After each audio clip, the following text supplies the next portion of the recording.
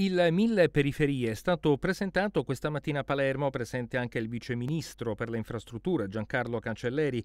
Si parte dai 120 progetti finanziati dallo Stato con il bando Periferie, oltre 2100 interventi in 445 comuni con una previsione di investimenti sopra i 2 miliardi. L'obiettivo è quello di costruire un unico grande programma nazionale per la riqualificazione anziché tanti progetti sconnessi.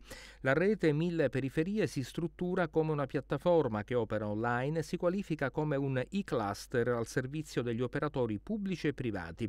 Si creerà inoltre il Mille Periferie Fest che sarà strutturato come una messa in rete dei principali festival nazionali e internazionali dedicati alle periferie fisiche e culturali, compresi compresi gli eventi e gli interventi multidisciplinari previsti dai progetti finanziati dal bando, presentandoli così in un'unica piattaforma divulgativa. Mille Periferie attiverà anche l'Osservatorio nazionale delle periferie per animare il dialogo propositivo sulle tematiche di sviluppo urbano dei prossimi anni.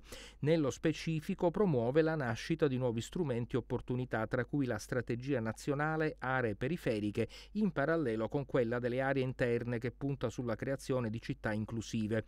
Un altro obiettivo è quello di sostenere lo sviluppo di strumenti finanziari per la riqualificazione delle periferie. Oggi oltre il 90% dei fondi immobiliari, per oltre 30 miliardi di euro, riguardano investimenti nelle regioni del centro-nord.